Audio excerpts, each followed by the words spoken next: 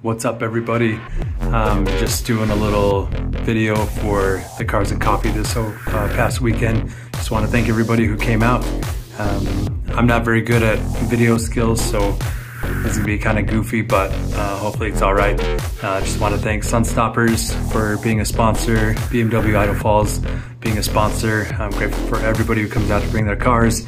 Uh, thankful for all the spectators. Um, of course, we couldn't have it done without any of you. So um, I hope you guys are all enjoying it and um, hope you come out next time. We'll put a flyer up here pretty soon. Hope you enjoy this little reel and uh, thanks for coming.